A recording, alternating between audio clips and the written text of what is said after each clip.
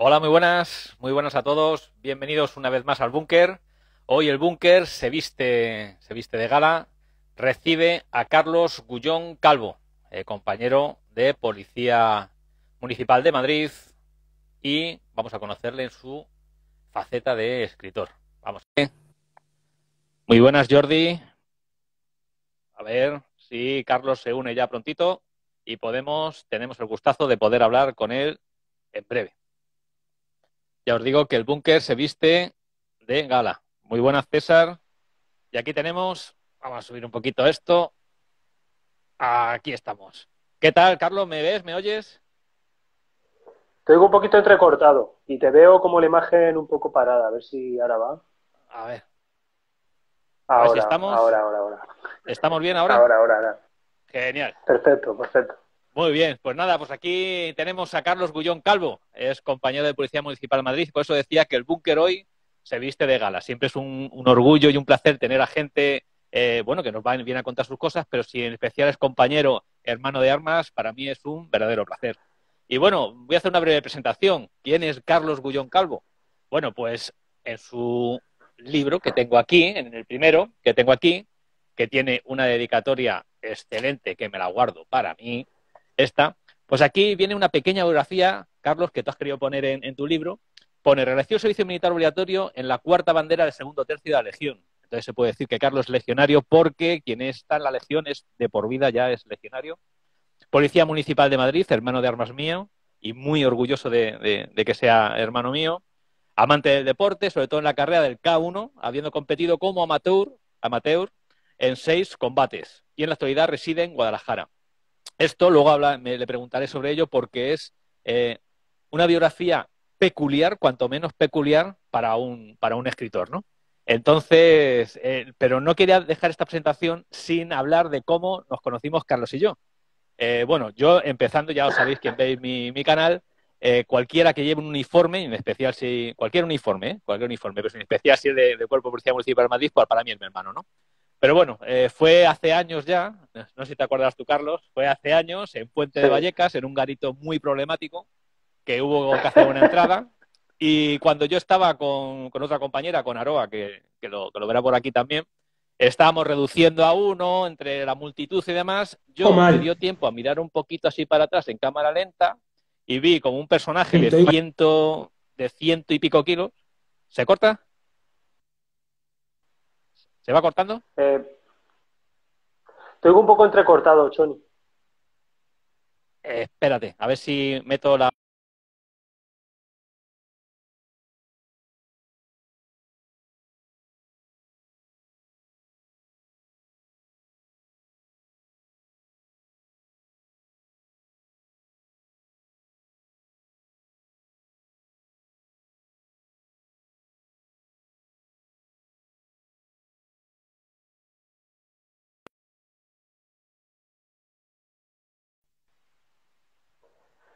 ¿Ahora? Es que tengo como la imagen para.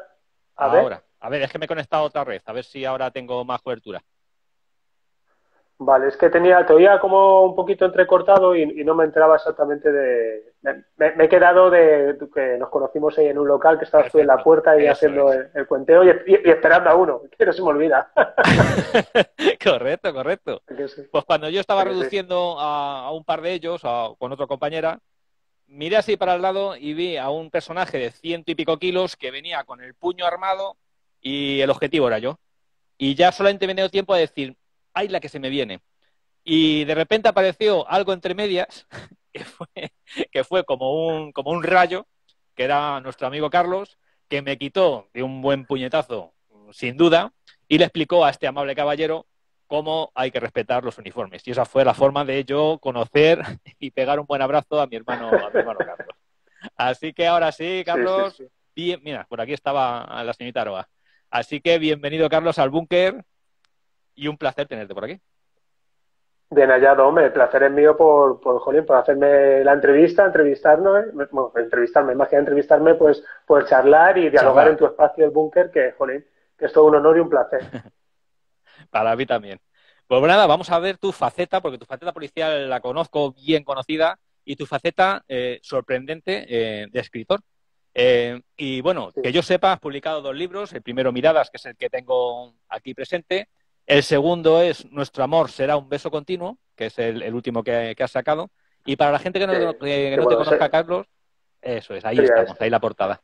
La gente que no te conozca, que no sepa de tu obra, eh, a ver si nos puedes hacer una breve sinopsis y, hasta dónde llega la primera y dónde empieza la segunda y dónde acaba la segunda.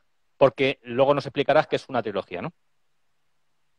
Sí, efectivamente. Bueno, si te soy sincero, Tony, yo, pues bueno, eh, he sido un poco autodidacta con el mundo de, la literatura porque, bueno, no hasta los 40 años no había escrito nada, ahora tengo 43, ¿no?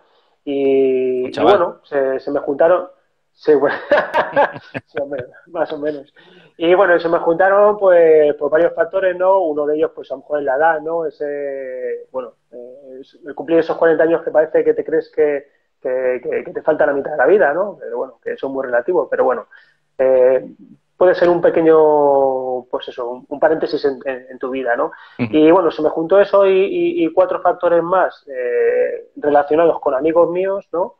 Que, bueno, que me dieron el paso por empezar un poquito a escribir.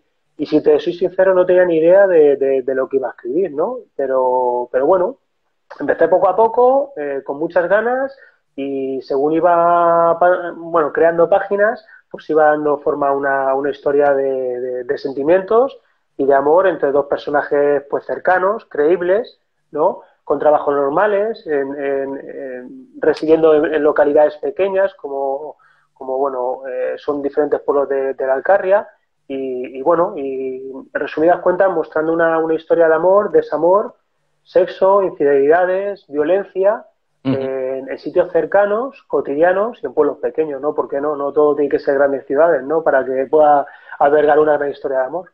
Sí, señor. Dices que es una, o pone que es una eh, de amor, sexo, erotismo. Esto, eh, ¿cómo te mm. documentar de esto?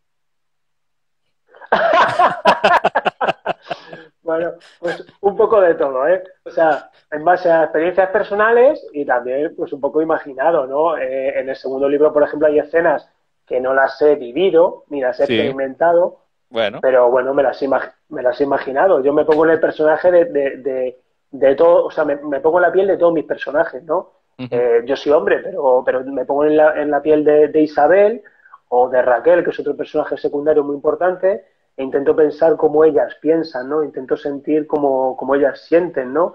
Y desde eh, explicar sus, sus reacciones o sus sentimientos desde un punto de vista femenino, que a veces no es, es un poco complejo, bueno, también. O alguna amiga para, perdón. Se ha ido, sí. Sí, es que me estaban llamando, no sé qué. Entonces, para, para, para, decirle desde su punto de vista femenino cómo, cómo, lo ven ellas, ¿no? En ese aspecto. Entonces, bueno, a veces me ayudo de, amigos y familiares. Una cosa, una cosa que me interesa bastante también porque es hay trama policial. Espera. la trama policial. Espera, tío. Eh, yo creo que se, te han ido los cascos. El casco se te ha ido. Porque te oigo diferente. Sí, espera. Sí, sí, sí. Son cosas del directo. A ver. Son cosas del directo. Es que no sé quién me ha llamado que me ha jodido, macho. ¿No me llama nadie? Luego recupera la, luego recupera la llamada y le, ajusticiamos. No, sigue sin estar el, audio. Muy buenas, Yolanda. ¿Qué tal estamos? Yolanda, que siempre está en mis directos. Esto me encanta. Voy a nombrarla, eh, ¿cómo se dice? VIP. Eh, el búnker VIP. Vamos a tener que hacerlo. Eh, George mm, Ah, del GRI. Ah, ah GRI Muni, claro, ya. Ahora, ahora sí. Ahora te oigo igual que antes. ¿Verdad? Ahora sí que se te escucha. Ahora me escuchas. ¿Me escuchas ahora? ¿Hola? Sí. Muy buenas, Es que te tengo aquí en el altavoz, tío. Joder, macho. A ver. Problemas técnicos de los que hay siempre. Eh, George, imagino que serás eh, compañero también del GRI. Muy buenas, Ernesto. Aquí estamos en directo también con otro escritor, eh, con Carlos Gullón, que es compañero, pero tenemos unos cuantos problemas de, de, comunicación y esta vez sí lo soluciona. Así que vamos a ver si lo solucionamos. ¿Tú me, ¿Tú me oyes así? Yo te oigo. Yo sí que te oigo. Vale, pues mira, yo te escucho por el altavoz de aquí, del teléfono y ya está, tío. Pues soy un cenutio con esto, tío, ¿sabes? Nada, nada, aquí estamos, a, lo que es. Te preguntaba que también lo de la trama policial, eh, también metes trama policial y tal, ¿eso te has eh, comido mucho la cabeza? Al ser policía te has comido mucho la cabeza y has intentado que sea todo verídico y demás, o lo has novelado y, da igual que sea 100% eh, real el, tema policial, me refiero?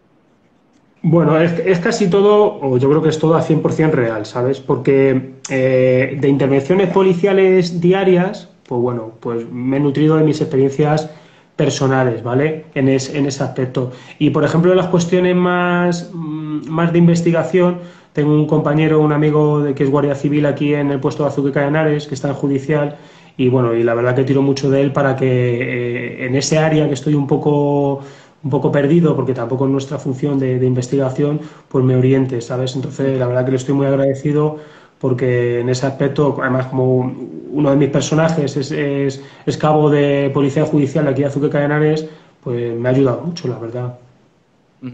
Y eh, estar haciendo una trilogía, ya hemos dicho los dos primeros libros, el tercero estará por llegar, eh, será todo secreto, entiendo, pero mi pregunta o mi curiosidad es, cuando tú empezaste con el primero, con miradas, cuando empezaste con miradas, ¿tú ya sabías que era una trilogía o te lo fue dando según fuiste escribiendo? Claro, me lo fue dando según fui escribiendo, Sony, porque no, ya te digo, no tenía ni idea de lo que iba a hacer. Entonces, eh, bien es cierto que el final lo dejé abierto y, bueno, tenía ganas de, seguir escribiendo y, creía que había potencial. Bueno, creía no, yo eh, afirmo que hay potencial. Y, bueno, la, eh, fui dándole forma, fui haciendo una trama. inclusive el segundo libro em, empiezo con el hallazgo de, un cadáver ¿no? en el embalse de Zorita. y bueno, la verdad que que, tenía material hasta la finalización del libro. Pero en un principio iba a hacer solamente dos libros, pero, pero bueno, mi esposa me dijo que me, dio una idea para poder ampliarlo más. Y bueno, y tanto que lo he ampliado, porque al final el tercer libro me ha supuesto eh, los dos juntos, el de Miradas y nuestro Museo Un Beso Continuo. O sea que eh, al final he ido imaginando, he ido creando eh, pues historia y bueno, la verdad que estoy muy feliz por ello, porque, jolín, uno de los grandes problemas de los escritores es la falta de, imaginación. El papel blanco, ¿no? Que dicen, el, miedo al papel en blanco, sí.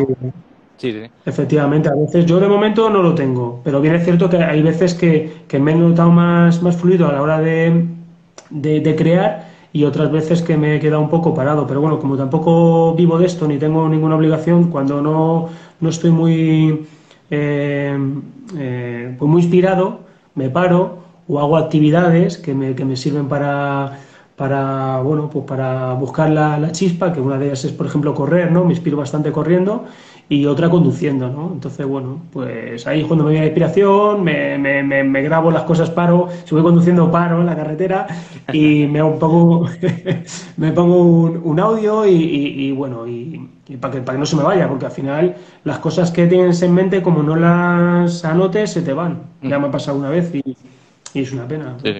Me ha parecido entenderte en algún ah, documentado sobre ti que el tercer libro de la trilogía es como que vuelves para atrás y, como que vas rellenando historias de, o sea, las facetas del primer libro, del segundo libro, entonces el lector que ha leído el primero y ha leído el segundo, al leer el tercero, ve completa ya la, historia, la trama entera, ¿no? Claro, efectivamente. En, los dos libros, o sea, por ejemplo, en el de Miradas, juego, y en el de Nuestro Amor Un Beso Contigo, juego con los tiempos, ¿no? Eh, el primer capítulo de Miradas tiene que ver con el final de Miradas y luego el primer capítulo de Nuestra Musa, un beso continuo, tiene que ver con la mitad de, ese libro, ¿no? Y luego el segundo capítulo ya enlazo con el final de Miradas. Pero el tercer libro es un libro lineal.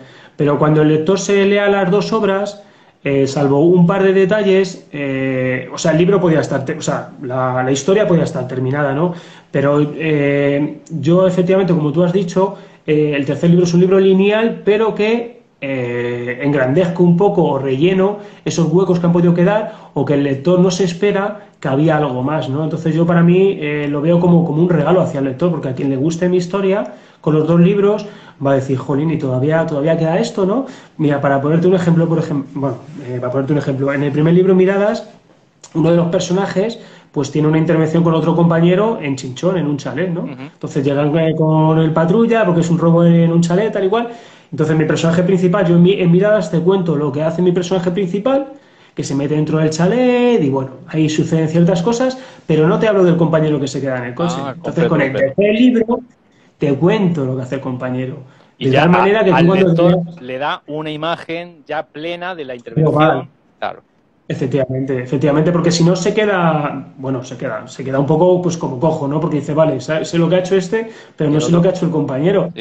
Entonces, que, en un momento dado tú como policía vas a decir, y seguro, sí, vas a decir, joder, este cabrón que se ha quedado en el coche, que no sé qué, no sé cuánto. Pero bueno, luego te explico pues lo que hace, ¿no? el compañero veterano. Mm. ¿Conoces a Ernesto Pérez Vera, Carlos? No, no lo conozco. Bueno, pero no sabes quién es Ernesto Pérez Vera, ya te hablaré yo de él. Es también escritor y habla de enfrentamientos armados, y es que no, nos pone aquí también que él emplea la misma técnica, ¿no? Que también emplea el mismo truco de ah, cuando está agobiado a correr y demás, ¿no? Y hablas también pues mucho, o sea, eh, cuando ya habla, o sea, la, trama ocurre en todo el correo de, de Lenares, ¿no? En Azuqueca, Alcalá, tal, en el pueblo de la Alcarria. ¿Por qué? ¿Por qué esa zona? ¿Por qué esa zona y no otra? ¿O da igual? ¿O daría igual que se eh, fuera en cualquier otro sitio? No, al final, Sony, mira, yo, yo cuando, cuando uno empieza a escribir, yo no tengo recursos para nada, entonces, ¿sabes? Entonces, bueno, eh, te documentas un poco de lo que tienes más, más, cercano a ti, ¿no? Yo en el 2006, bueno, yo soy de Corlada, pero en el 2006 vine a vivir a Zuqueca de Henares y, bueno, pues los fines de semana he aprovechado muchos, pues muchos sábados, muchos domingos en ir a visitar pueblos de aquí de, de, de la Alcarria. Entonces, bueno, me ha servido de inspiración para, a lo mejor, cada capítulo de mis diferentes libros eh, sucede en, un pueblo de, la Alcarria. Entonces, bueno, pues yo me cogía el coche, me iba pues, pues a Torija, o a Pastrana, o a Zorita los Canes, y bueno, tiraba fotografías, eh, plasmaba por escrito las sensaciones que, sentía o lo que me podía a mí valer. Entonces, bueno, yo, yo creo que cuando, cuando uno escribe sobre algo que, ha sentido o que ha visto en primera persona, eh, tiene mucho más valor o, más potencial a, la hora de transmitirlo al lector, ¿no?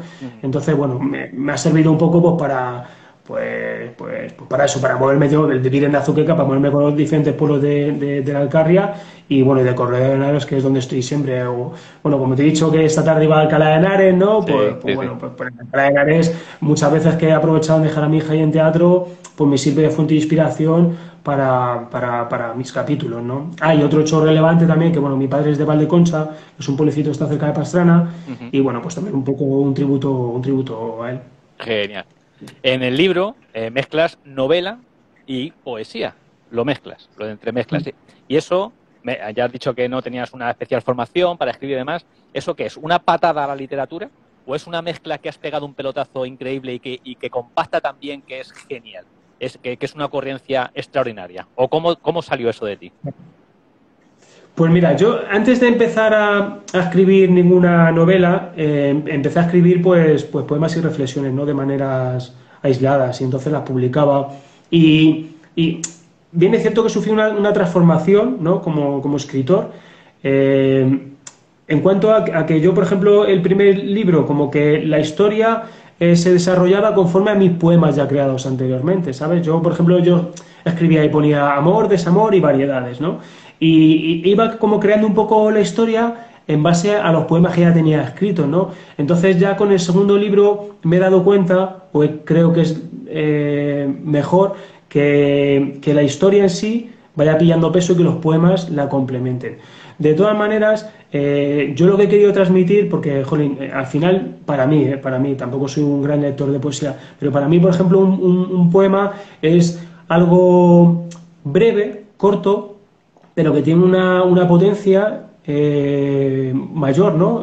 o sea, tiene un significado muy profundo y, bueno, me parecía muy interesante meter esa, esa, profundidad y ese significado tan importante dentro de la narrativa de mis personajes, ¿vale? Porque cada poema está, está introducido de tal manera que eh, como que eh, explico, ¿no? La, eh, las justificaciones a veces de mis personajes o sus sentimientos, ¿no? Entonces yo creo que, que, es un potenciador de, de, bueno, de mis personajes en sí. Yo lo veo así, por lo menos. Increíble, increíble cómo lo explicas. Y es que ahora digo, mira, por ejemplo, eh, Javibi dice que eh, hace una muy buena eh, definición de tus libros. Pone, dice, están cojonudos. Pues ya está, no se tiene que decir más.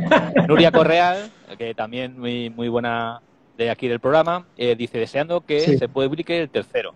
Y C Cop dice, cada libro mejora, más amor, más intriga, más odio, más lujuria, más bullón. Con ganas del tercero, sí, señor. ¿Y sabes qué pasa, Carlos? Es que, eh, por ejemplo, leyendo eh, eh, el libro, ama aún a sabiendas que pueda doler, ¿no? escribes poesía, escribe y leyendo, lo, no, le conozco, no me lo he leído entero, pero ya lo empecé antes de ayer y lo estoy leyendo y me sorprende un montón. Claro, yo te conozco a ti, tengo la imagen tuya de tío de furgón, de tío de casco, de tío de tal, de, uniforme, de bajar, de repartir, de subir y nos vamos, ¿sabes? Entonces, eh, ¿cuál es más Carlos? ¿El Carlos de casco o el Carlos, o el Carlos de, de bolígrafo? Bueno, yo es que creo que, la vida no, no, sé, todo está unido, ¿no? Entonces, eh, yo, yo, quiero transmitir, o, bueno, no, no, es que transmita, es que soy así, ¿no? Eh, a lo mejor sí tengo que ser contundente o, o duro o, decisivo en ciertos momentos, pues, pues lo soy. Y si tengo que ser sensible, romántico, pues también lo soy, ¿no? Yo creo que, no sé, eh, es como imitar un poco a los grandes poetas antiguos del siglo de oro español, ¿no? Que, o como Cervantes, que todos eran a lo mejor soldados y eran poetas, ¿no? Entonces tenían esa doble eh, habilidad, ¿no? De ser a lo mejor un momento dado despiadado y ser alguien tierno, ¿no? Que, o López de Vega, ¿no? No sé. Entonces yo creo que se puede conjugar todo y, y, y no marcar a, a, ningún autor ni a ningún policía eh, en un estereotipo concreto, ¿no? Yo creo que podemos serlo todo. Eh, me, enamoras. Escucha, mira, Jubucal eh, 1972 dice, es una maravilla, vale para todo. Entiendo que tú o tu obra, no, no, lo tengo muy, muy claro. Cuando escribes, eh, ¿a qué público va dirigido tu obra? Cuando estás escribiendo, ¿en quién piensas que es tu lector o tu lector ideal? Vale, pues yo, bueno, por un poco por estadística, pero a lo mejor ya no es estadística mía, sino estadística en general, ¿no? Que a lo mejor la mujer lee más, ¿no? Eh, tengo más público femenino que masculino, pero yo no escribo para, para un público dirigido, ¿no? Eh, yo escribo para todo el mundo. Entonces, hay veces que tengo una pequeña lucha con, con mi esposa que me dice, bueno, esto es muy machista, da igual. Bueno, a lo mejor, machista a lo mejor porque tú lo entiendes así como mujer, pero yo no escribo tampoco para eh, hacia un público en general. Yo escribo una historia desde todas las vertientes, ¿no? Puedo a lo mejor poner el pensamiento masculino ¿no? Que a lo mejor a alguien femenino puede resultar machista, o no, no lo sé. Eh, a lo mejor hay muchos, muchos varones que, que pueden estar de acuerdo conmigo, eh, bueno, de acuerdo con, con, mi personaje, ¿no? Con la, con la historia, ¿no? O, con, o como escribo. Entonces, bueno, tampoco me tengo que dirigir a nadie, porque una cosa que me ha, que, me ha dado ya los años, los tres años que llevo escribiendo, es que al final tienes que escribir un poco pues, pues para ti, ¿no? Y para tus personajes. Contar algo que, que primero te guste a ti y, ya está, no tienes que, escribir hacia alguien en concreto, ¿no? Y, porque esto es como una película, hay gente que le gusta mucho, gente que le gusta menos, entonces no puedes contentar a todo el mundo. Entonces yo escribo partiendo de la base de que, de que me guste a mí o, o, con el afán de, de, crear algo bueno, indistintamente que sea para un hombre, para una mujer, para un adolescente, para una persona muy mayor, etcétera, ¿no? Mm. Entonces no, no escribo para alguien en concreto, escribo pues para todos. Genial. Los títulos. El título es, lo primero que, bueno, porque el lector, cuando va a comprar un libro, ve, le atrae, la portada también, pero bueno, sobre todo el título. El título Miradas, el título, el segundo título, eh, ¿tienen algún porqué o son, o eso es un, un, al azar? Sí, bueno, sí, no, todo tiene porque yo, por ejemplo, en, en, mis libros todo tiene una simbología, ¿no? Eh, bueno, yo creo que eso es mucho más bonito, ¿no? Una simbología, al tener un, sentido, ¿no? Pero bueno, pero escribiendo un libro, como toda la vida, un trabajo, una profesión, todo tiene que tener un sentido, ¿no? Si no, es, está vacío, está un poco muerto. Entonces, bueno, miradas, eh, la primera novela, como eh, mis personajes se conocen con veintipocos años en Ciudad de los Canes y los dejo con 40 en Pastrana, entonces en ese transcurso de tiempo...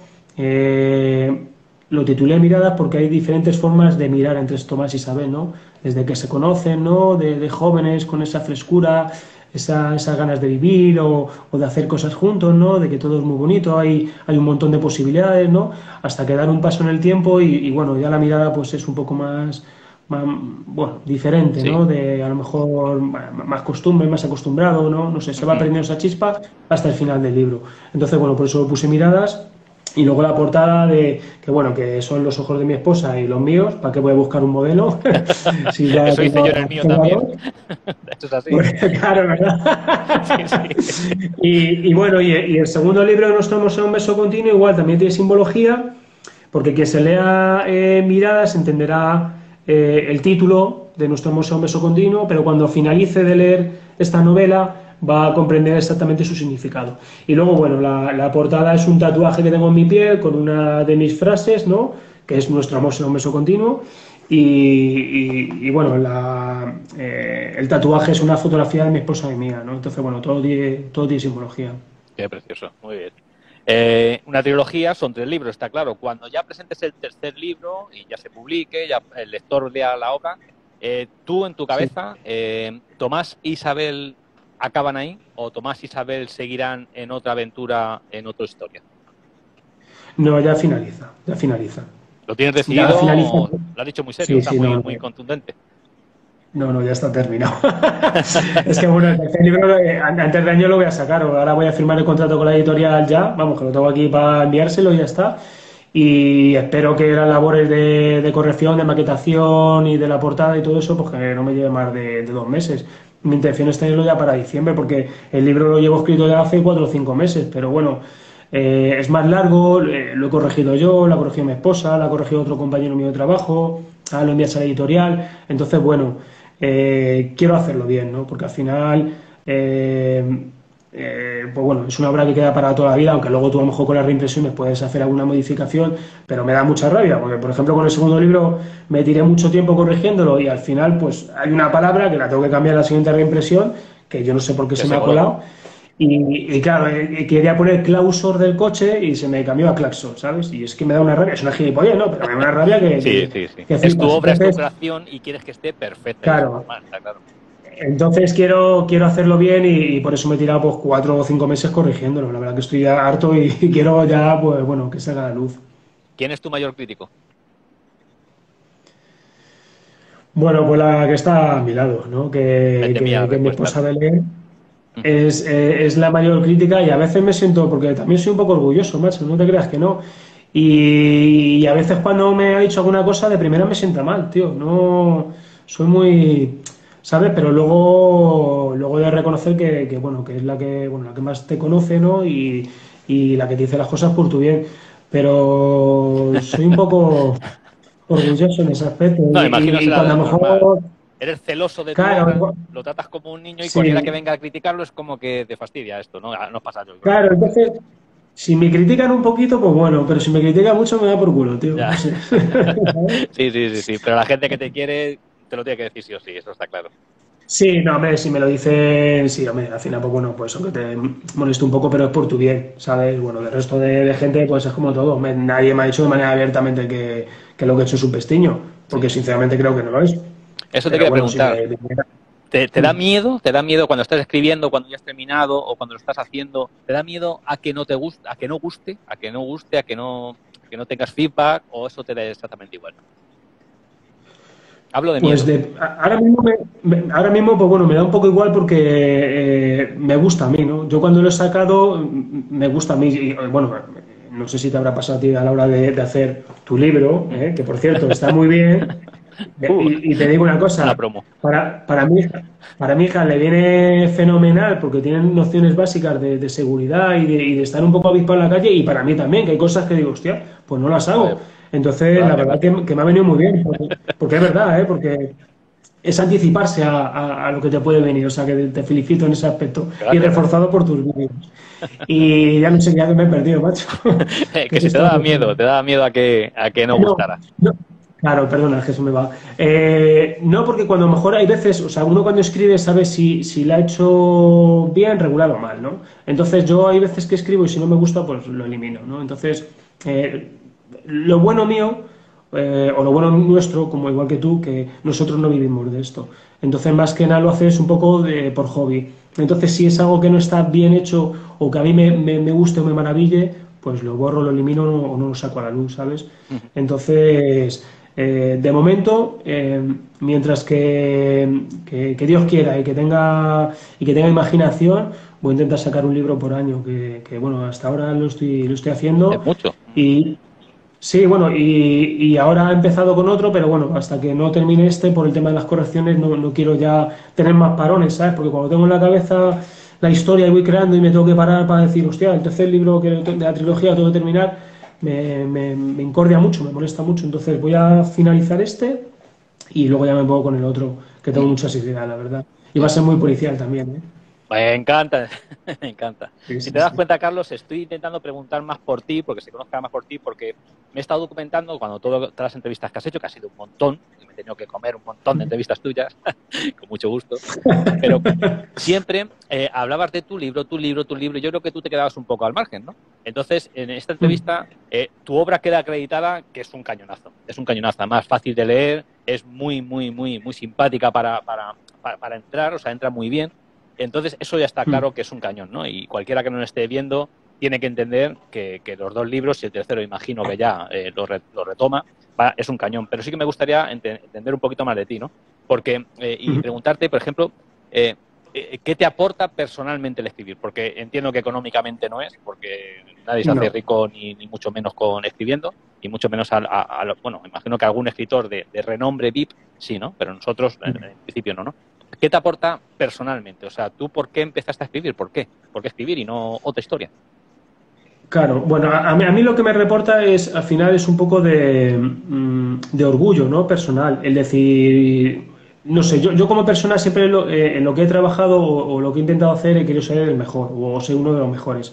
Entonces es, al final eh, eh, como una manera de demostrarte que hagas lo que hagas lo vas a hacer bien, ¿sabes? Ese es el mejor sello tuyo como persona. ¿Sabes lo que te quiero decir? Porque eh, eh, yo a lo mejor he sido vendedor de zapatos y quiero ser mejor vendedor de zapatos. He estado haciendo hormigón y quiero ser mejor haciendo hormigón. Eh, he sido policía y quiero ser mejor siendo policía.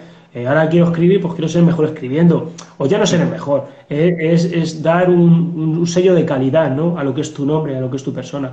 Entonces, pues bueno, desde ese punto de vista, pues, pues es, lo que me llena a mí, ¿no? Y que también que la gente lea mis obras y diga, joder, pues, pues está bien hecho, ¿no? Eso, eso es muy gratificante y es, y es muy bonito. Y yo si te digo, a ver, dices tú, pues el dinero no lo haces. Al final yo lo comido por lo servido, e incluso palmo, porque muchas veces, ahora tengo la feria del libro de Murcia, que voy a ir ahora el 9 de, octubre y tú me dirás que alojamiento, gasolina y, y para vender ahí cuatro libros, que no vendes tampoco nada, pero bueno, al final bueno, yo, yo, lo veo como algo bonito, como una experiencia personal, porque hago turismo, voy con la familia, entonces, bueno, eh, yo, yo, lo veo desde ese punto de vista. Pero ya te digo, eh, a, mí me gusta hacer esto por, bueno, por, ese motivo y también, eh, como no, esto es una manera, es un legado, ¿no? Al final es una propiedad intelectual que cuando tú te mueras, tío, está ahí, ¿sabes? Entonces es muy bonito, como si dejas un hijo, ¿sabes? No sé. Mira, me la acabas de quitar de la boca. Es que es exactamente eso. Yo, incluso con mi proyecto, con el búnker, con todo, es que es eso. Es esto, si Dios quiere, quedará, quedará. Y con que pueda ayudar a alguien, genial. Igual que con mi hija, es, exactamente igual. Yo la estoy reeducando y quiero ser el mejor padre. ¿Para qué? Para que mi hija sea la mejor hija. Efectivamente. Sí, sí, sí, sí es lo que Y económicamente está claro que no.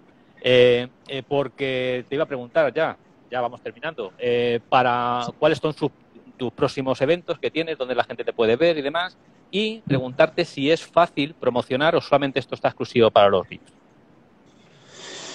Yo lo que, lo que veo más complejo desde mi punto de vista, Sony, es la distribución, tío, llegar a la gente. Es que eso es muy complejo, o por lo menos yo no soy capaz o lo voy a hacer, pero me va a costar mucho, porque al final, eh, en este mundo, eh, por lo que yo he visto, eh, lo poco que he visto, o tienes padrino, ¿no? O, ¿sabes? De que alguien te impulsa, o te tienes que gastar mucho dinero en publicidad, ¿sabes? Para llegar a todo el mundo. Entonces yo creo que es el gran, el gran problema que tenemos los, los, autores noveles, que no llegas, tío, es que es imposible llegar, ¿sabes? Y, es una pena, porque aunque tengas una buena obra, eh, o das el pelotazo a la gran pantalla, que claro, todo autor, eh, pues eso, quiere, quiere hacerlo, o, eres muy invisible. Claro, o, al final tu obra, mejor si es muy buena, va a tardar mucho en llegar a la gente, ¿sabes? Muchos años. Entonces, no sé, yo, yo es lo que, lo que veo peor, la distribución. Y mira, ya ahora tengo los, los siguientes eh, eventos, pues mira, mañana voy a, Guadalajara a hacer una presentación, a Guadalajara Capital, y voy a Feria del Libro ahora en, el 9 de octubre a Murcia, y luego en noviembre tengo cerrado, me parece que el 19 de noviembre, en Alcalá de Henares, y estoy también en Sigüenza medio cerrado, ¿sabes? Entonces, o sea, que te mueves, te vas moviendo, te vas moviendo. Sí, me cuesta mucho, ¿eh? Y, y para que algunos me dicen que sí, muchos me dicen que no, o ni me contestan. Entonces, pero bueno, yo con intentar hacer una o dos presentaciones, pues bueno, pues para conocer la obra, pues es suficiente. Luego tú ya sabes que también trabajo los fines de semana que luego si quiero crear tampoco puedo estar siempre claro, la familia, y si quieres crear tampoco puedes estar promocionando. Eh, no sé, yo, yo, prefiero casi más eh, seguir creando que, hacer un libro y ya vivir de las rentas, ¿no? Como si fuese una canción del verano y ya está, ya vives. No, yo creo que, hay que intentar siempre crear, crear, crear, crear, mientras que uno tenga la inspiración y uno pueda, ¿no? Sí, y si tiene que llegar, llegará, y si no, pues tan feliz creando, efectivamente. Bueno, pues eso, efectivamente. A mí lo que más me gusta, a lo mejor venga un lector y me escriba, oye Carlos, que joder, que me ha encantado. Eso para mí es lo más gratificante, porque es lo más bonito, sinceramente. Sí, sí, sí. Por eso conmigo lo tienes, ya lo sabes. Y ya para poner la guinda, para poner la guinda, Carlos, eh, eh, ¿dónde comprarlo? El, lector que te, que te esté descubriendo ahora mismo y diga, bueno, pues esto los tengo que leer yo sí o sí. Recomendable 100%. ¿Dónde, dónde puede comprar? ¿Dónde adquirir tus, tus obras? Pues mira, tienes varias vías, ¿no? Yo tengo una página web que es www.carloguyoncalvo.com, que ahí, bueno, ahí está mi web por si alguien quiere conocer un poco más de mí o quiere ver mm, más presentaciones o, bueno, quiere saber un poco más sobre mi persona y ahí me pueden hacer el pedido directamente que me llega a mí y yo se lo envío a través de una agencia TISA de un amigo mío, que, o sea, que te va a llegar sí o sí. y, bueno, y se, lo, dedico, ¿no? en ese aspecto. Y si no, pues bueno, pues, por Amazon también están. Si tú vas a cualquier librería, en el momento mejor no lo tienen, pero a través de la distribuidora Z te lo pueden conseguir, ¿no? Tú dices el título de, de la obra y, y, el autor y te sacan el ISBN y te lo traen, ¿sabes? mejor para el día siguiente lo tienes. Eh, entonces, bueno, tiene, tiene varias opciones. Eh, aquí en Azuqueca, en varias librerías tengo un depósito, librería Lua, en Diógenes en Alcalá de Henares. Entonces, bueno, hay varios sitios donde, donde, lo, donde lo puedes eh, pues eso, pues, pues adquirir. Eh, ¿no? O adquirir. Sí, sí, sí. Correcto. Pues eh, que no se hable más. La gente que lo esté viendo ahora, la gente que lo vea eh, grabado. totalmente recomendable. Yo tengo este, Carlos, me voy a esperar a verte para que me escribas esto. Este También el segundo, efectivamente, que quiero tenerlo, sí o sí, y comprártelo a ti, en persona. ¿Vale? Así que todo el mundo, no sé si quieres añadir algo más, Carlos. Pues nada, hombre, añadir para, vamos, agradecerte a ti la entrevista, que, que jolín, que, que, es un placer y, ya no solamente por, por, aparecer en el búnker, sino por hablar contigo, oye, que siempre es una, es una maravilla y, eres una garantía de, de, alegría y de seguridad, tanto a nivel eh, profesional como a nivel personal y o a nivel de escritor. Eso me encanta, eso me encanta. Pues con eso nos quedamos. Oye, con estos halagos que de vez en cuando me vienen genial. Así que lo dicho, cualquier persona que lo esté viendo, la obra de Carlos Gullón Calvo, ¿eh? miradas y nuestro amor será un beso continuo. Aquí lo tenéis a vuestra disposición, ya os ha dicho dónde, y meteros en vuestra web, en, la web de Carlos, e investigar un poquito, que muchos os vais a sorprender. Así que nada, Carlos, eh, encantado, encantado, encantadísimo de haberte tenido aquí en el búnker, de verdad te lo digo.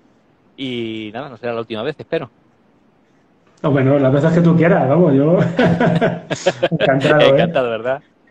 Bueno, pues nada, pues muchísimas gracias, muchas gracias a todos los que me estáis viendo, que ha sido mucha gente lo que, a, la que has atraído. Así que un beso a todos, Carlos, compañero, hermano, un beso grande y muchísimas gracias por todo. ¿eh? Cuídate. Hasta, luego, chicos, chao.